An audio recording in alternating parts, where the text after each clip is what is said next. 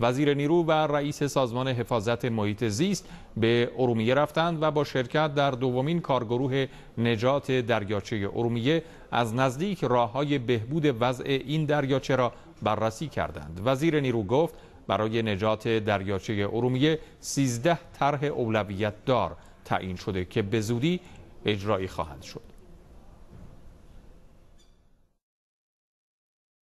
تقریبا نیمه شمالی دریاچه تا یه حدود آب داره. منتها آب بسیار کم عمق. اما جنوب دریاچه کاملا خشک شده و حتی جزیره هایی که در وسط دریاچه بوده الان اینا دیگه کاملا وصل شده به مناطق خشکی. مردم هم در این سیاست ها مشارکت داشته باشن. مردم خود ارومیه و مردم این استان و استان های همجوار این نکته رو باید بدونن که بالندگی کشاورزی این منطقه وابسته به وجود دریاچه ارومیه است. دریاچه ارومیه اگر از بین بره نه تنها کشاورزی بلکه زندگی در شهرهای ما هم از بین خواهد رفت.